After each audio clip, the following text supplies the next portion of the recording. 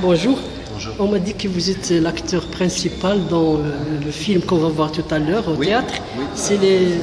le titre, c'est Ces, les- amours-là. ces amours-là. Choix du titre, ces amours-là.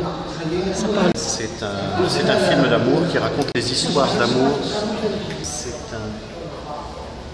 Comme son titre l'indique, c'est un film d'amour qui raconte les histoires d'amour de la vie d'une femme pendant la Seconde Guerre mondiale. C'est la première fois que vous êtes ici à Angelina Oui, première fois. La première fois, alors soyez le bienvenu. Merci, merci monsieur. S'il vous plaît, le- c'est les amours Le titre, c'est Ces Ces amours. amours-là, c'est un film de Claude Lelouch euh, avec Laurent Pouzon, l'acteur qui est présent aujourd'hui. Et ça raconte l'histoire de Ilsa, il me semble, si je ne me trompe pas. et euh, ça raconte son histoire, donc euh, ses histoires d'amour tout au long de sa vie. Et donc du coup, l'histoire euh, l'histoire commence dans un, dans un studio d'enregistrement où un orchestre joue et on raconte sa vie en musique, en fait. Au fur et à mesure, en parallèle de son histoire, il y a la musique qui défile, etc. la présence de Monsieur le gouverneur et de son épouse. Je voudrais également dire qu'il y a six mois, nous avons eu le, le plaisir d'une annonce, à savoir que la province dotait le, le théâtre à Fifi d'un projecteur et d'un écran. Et nous avons pensé que la moindre des choses, pour célébrer cet événement qui nous ravit et qui doit ravir, j'espère, toute la ville des Jalidas, eh bien, nous avons pensé ce soir présenter un film. Ce film, c'est Ces Amours-là de Claude Lelouch, un film qui a été euh, diffusé en 2010. Et nous avons invité Laurent Couzon, Laurent Couzon qui est l'acteur principal que j'ai à mes côtés. Donc je tiens à remercier la province pour ce geste.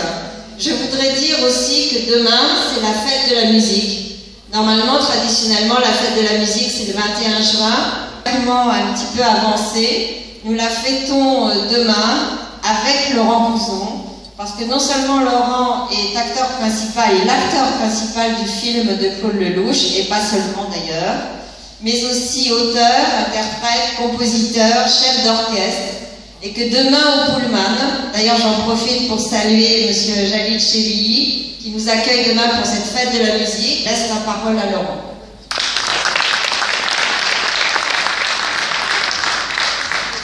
Bonsoir. Alors, ah c'est une très bonne bonsoir. Je suis, très, je suis ravi d'être là. C'est la première fois que je viens à El Jalila, mais euh, ce n'est pas la première fois au Maroc. J'ai une longue histoire d'amour avec le Maroc. On aura l'occasion d'en parler après le film et je vous expliquerai pourquoi.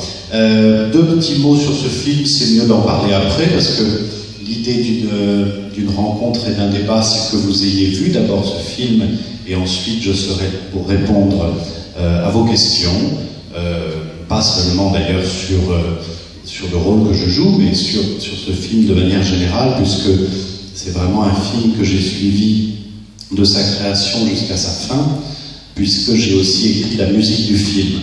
Et avec Claude Lelouch, la musique est une des choses les plus importantes de son cinéma. C'est-à-dire que euh, c'est la première chose qu'il fait euh, dans un film. La musique que vous allez entendre là ce soir a été enregistrée avant le film, ce qui est une chose assez rare, puisque généralement dans le cinéma on enregistre la musique après. Donc le compositeur, que je suis aussi dans ce film, a été le premier à, connaître le scénario du film et à en écrire la musique. Donc ça a été vraiment une, une grande aventure que de suivre ce film jusqu'au bout. C'est un film d'amour et c'est un film de guerre. Euh, c'est un des films les plus importants de Claude Lelouch, je pense, parce que d'une part, c'est le film qui a fêté euh, l'anniversaire de ses 50 ans de carrière. C'est son 47e film, si je ne me trompe pas, tout de même. Et d'autre part, parce qu'il raconte aussi euh, l'enfance de Claude Lelouch au travers de plusieurs personnages qui sont tous des personnages qui ont réellement existé. Donc toutes les histoires que vous allez voir dans ce film sont vraies. Ce qui n'est pas vrai, c'est qu'elles sont toutes réunies dans le même film, mais ça, c'est les besoins du cinéma qui rassemblent les histoires pour en faire une grande. Euh, Qu'est-ce que je peux vous dire d'autre? Voilà, vous allez, je pense, rire, pleurer, euh, mais vous allez vivre une grande aventure de, deux heures, comme euh, Claude Lelouch sait en, en livrer. Passez une bonne projection et je vous retrouve après le film pour en parler tous ensemble. Merci. Merci à vous, bonne soirée,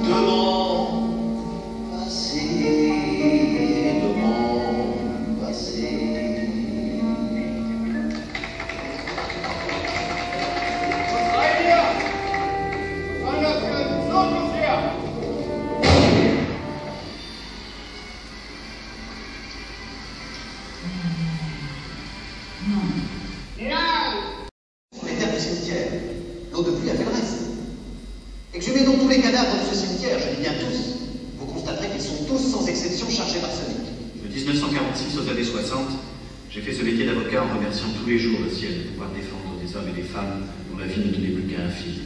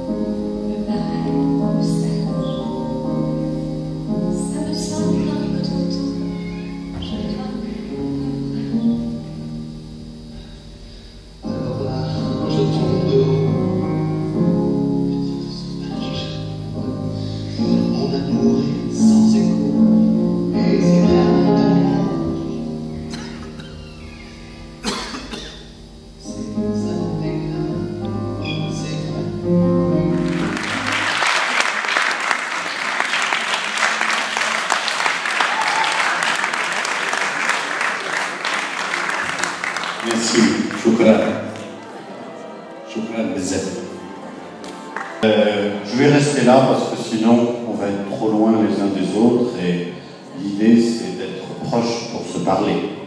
Alors s'il y a un autre micro qui circule dans la salle, voilà, c'est formidable. grâce à, à Saïd. Je vais vous laisser euh, quelques secondes pour vous remettre de vos émotions. C'est un film d'émotion forte. Et puis après, bah, vous pourrez me poser des questions et je vais y répondre. Voilà.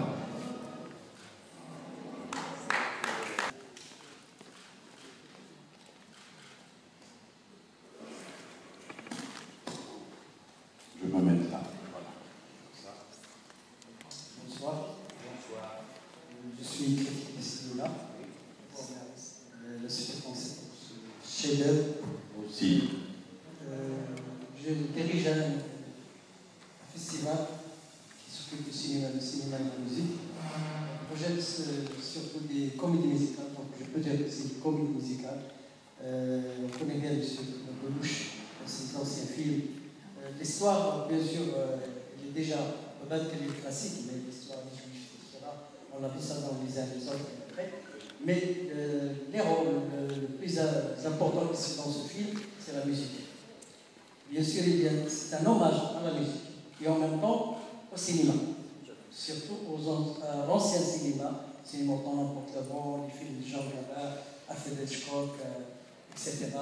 Comme passe on a tout vu.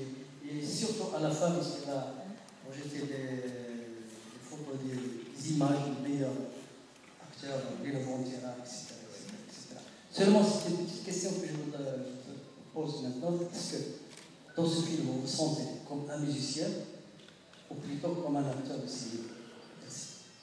Vous avez raison, ce film est une, comédie musicale. C'est un opéra, hein, c'est construit comme un opéra, avec, euh, vous avez entendu, le, il y a le thème du personnage de Simon, il y a le thème du personnage d'Ilva, euh, il y a le jazz, il y a Rachmaninoff, il y a Charles Trenet. Euh, voilà, c'est un- c'est- c'est- c'est une vraie comédie musicale et il y a, des chansons.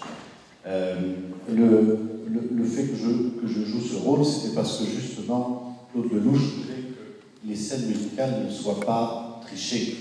Et donc l'ensemble des scènes musicales, comme vous avez pu vous en rendre compte, ne sont pas en playback, elles sont jouées et chantées en direct.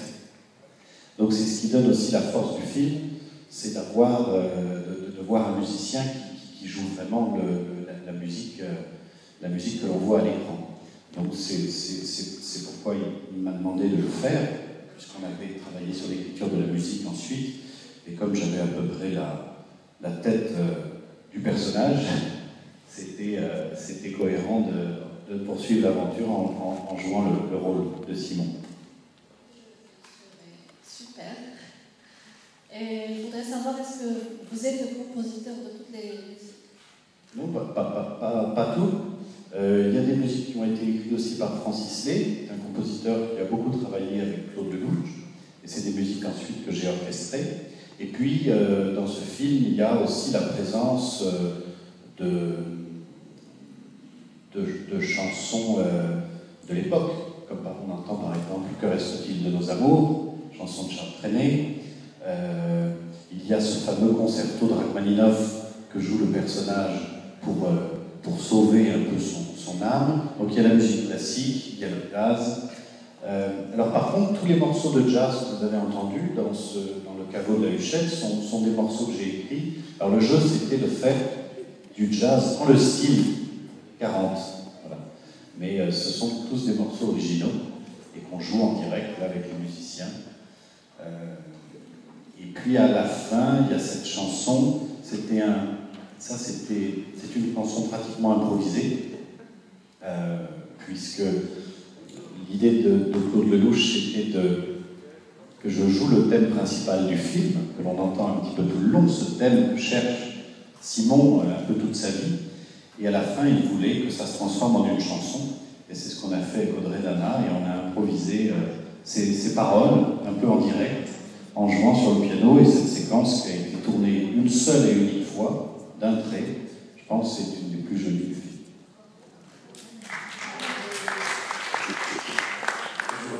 Euh, par rapport aux histoires vraies, oui, oui, c'est l'histoire vraie de Claude Lelouch. C'est l'histoire vraie de Claude Lelouch, c'est-à-dire d'un jeune cinéaste qui, pendant la guerre, était obligé de se cacher. Et notamment, il allait se cacher euh, pendant euh, certaines descentes des Allemands dans un cinéma. C'est comme ça qu'il a découvert le cinéma. Donc ça, c'est l'histoire, c'est son histoire vraie, c'est l'histoire de ce petit garçon qui se cache. et qui découvre le cinéma de cette façon et qui ensuite va faire son premier film euh, en URSS, comme c'est raconté dans le film. Et puis, toutes les histoires de ce film sont vraies. Ce sont que des anecdotes de guerre racontées à, Lelouch a recueillies de, différents amis, de différents témoignages et qu'il a mis dans un seul et même film. Et, et vraiment, toutes ces histoires sont vraies. Hein. Alors, ce qu'il a voulu faire, c'est le rassembler autour de ce personnage féminin et, de rassembler toutes ces mêmes histoires d'amour autour d'une seule femme et, raconter les différents, ces amours-là, les différents amours de cette femme pendant la guerre. Et c'est vrai que l'amour pendant la guerre est toujours plus fort. Le voir dans, ce film, c'est un des messages du film, c'est qu'évidemment l'amour est exacerbé dans les temps difficiles.